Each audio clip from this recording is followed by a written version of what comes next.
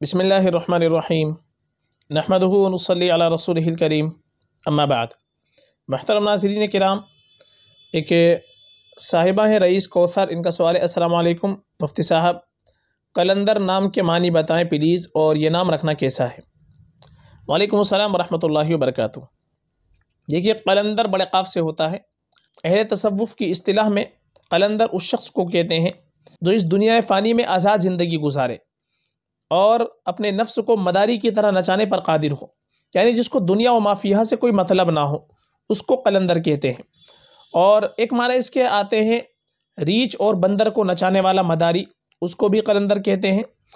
और बेतही, बहुत से इसके मानी आते हैं, नाम रखने के एतबार से नाम ज़्यादा बेहतर नहीं है ज़्यादा मुनासिब नहीं है। चूँकि इसको कहते हैं कि जो दीन और दुनिया से बिल्कुल बेखबर होकर ज़िंदगी गुजारने वाला हो और जो बच्चों वगैरह को छोड़ करके फ़कीराना ज़िंदगी गुजारता हो, उसको कलंदर कहते हैं। एक माने इसके आते हैं, जो इश्क हकीकी में मस्त होकर ज़िंदगी गुजारता हो, उसको कलंदर कहते हैं। रखना चाहे रख तो सकते हैं, लेकिन माना इसके ऐसे नहीं है कि जो नाम रखने के अतबार से ज़्यादा बेहतर हो। बेहतर ये है कि हम कोई अच्छा नाम रखें साहब कराम के नाम रखें अम्बिया कराम मसरत वसलाम के नाम रखें, ऐसा नाम रखें जिसके माना अच्छे हो, जिसके माना का बच्चे की दात के ऊपर अच्छा असर पड़े।